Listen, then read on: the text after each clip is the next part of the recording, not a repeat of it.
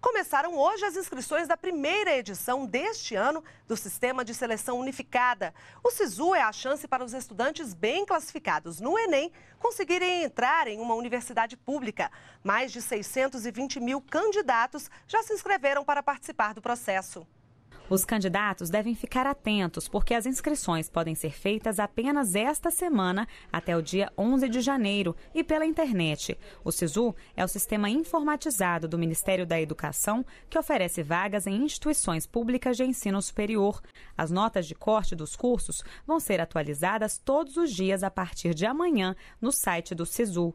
Assim, o candidato pode fazer a comparação com o próprio desempenho no Exame Nacional do Ensino Médio, Enem, e escolher o curso e a instituição em que tem maior chance de ser selecionado.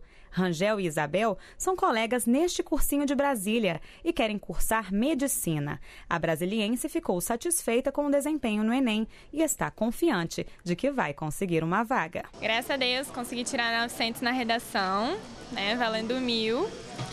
E tô confiante, né? Porque tem muitas faculdades que o peso da redação é maior, né? Peso 2. Então conta bastante, né? Aí já é um passo à frente já.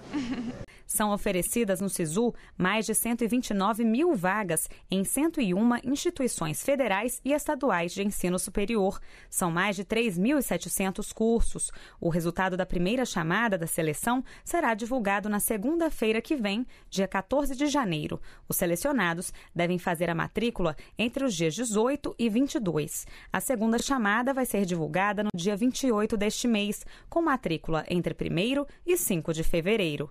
Podem se inscrever no SISU os estudantes que fizeram o Enem em 2012 e tiraram nota acima de zero na redação. Durante o período de inscrição, os candidatos podem trocar a opção de curso no sistema quantas vezes quiserem. O sistema de seleção unificada é uma forma mais fácil de participar do processo seletivo em universidades de todo o país, sem precisar deixar Brasília, cidade onde mora. Eu mesmo, esse semestre, eu fiz seis vestibulares, eu viajei quatro vezes, então é meio desgastante. Fora o tempo e o dinheiro também, né? Que, é, que são altos. Que, que, que tem, disponibiliza de um tempo muito grande e de um dinheiro também. Tem que gastar muito dinheiro para ficar deslocando pra, de um lugar para outro.